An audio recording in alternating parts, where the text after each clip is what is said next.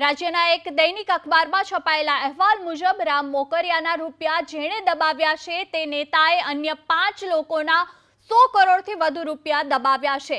અહેવાલમાં તો એ પણ છપાયું છે કે જે પણ વ્યક્તિ આ નેતા પાસે નાણાંની ઉઘરાણી કરે છે, ત્યારે તેને ચૂપ કરાવી દેવામાં આવે છે.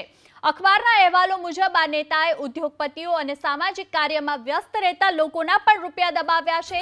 કેમ કે રામભાઈ મોકરિયાએ આ મુદ્દે નામ લીધા વગર નિવેદન આપી દીધું છે, ત્યારે અન્ય લોકોની પણ હિંમત ખુલે તેવી શક્યતા છે. અખબારી અહેવાલ મુજબ તેના ઉદ્યોગ સાથે સંકળાયેલી એક વ્યક્તિને આ નેતા પાસેથી બે કરોડ લેવાના હતા અને જ્યારે ઉઘરાણી કરી ત્યારે તે ઉદ્યોગપતિને ગંભીર ગુનામાં સંડોવણી દેવાની ધમકી અપાઈ હતી. અહેવાલોમાં તો એમ પણ છપાયું છે કે સાસણગીરની આસપાસના વિસ્તારમાં ફાર્મ હાઉસ અને હોટલ ધરાવતી કોઈ વ્યક્તિને આ નેતા સાથે ઘણા સારા સંબંધ છે અને લેણદારોને રકમ પરત અપાવવા